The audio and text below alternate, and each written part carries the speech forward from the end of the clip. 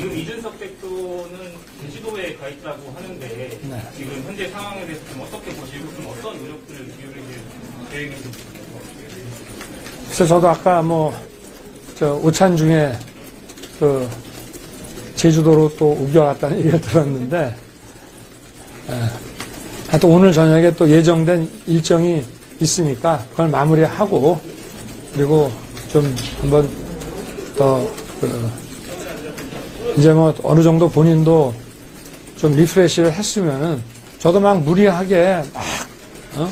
거의 막 압박하듯이 이렇게 할 생각은 사실 없었어요. 제가 우리 경선 함께 했던 분들에 대해서도 어, 빠른 시일 내에 그 원팀이 그 원팀을 구성해야 된다라고 했지만 에, 본인들이 에, 좀 마음의 정리를 할 때까지 저도 좀 뭐 전화도 물론 드리고 했습니다만은 그 좀 마음에 좀그 어, 정리를 하고 이렇게 좀 순리대로 풀어가기 위해서 많이 기다렸고 또 여러 가지 그 방식을 통해 가지고 좀 소통을 하려고 노력을 해왔습니다.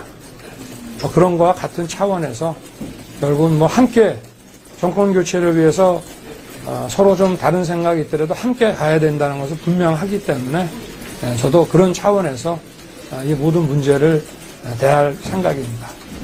고맙습니다. 여기까지 김종인 위원장님 만나셨잖아요. 네. 식당에서 웃음소리도 들리고 네. 합의했던 걸로 들었는데 그 어떤, 어떤 대화를 나누셨는지 아니 친구분하고 둘이 여러분들이 가르쳐 줬잖아요.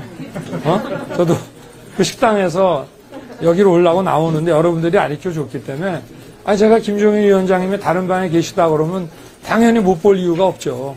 갔더니 고등학교 동기분하고 두 분이 식사를 하고 계셔가지고 뭐 그러니까 저 통상적인 뭐 이런 덕담하고 그러고 나왔습니다.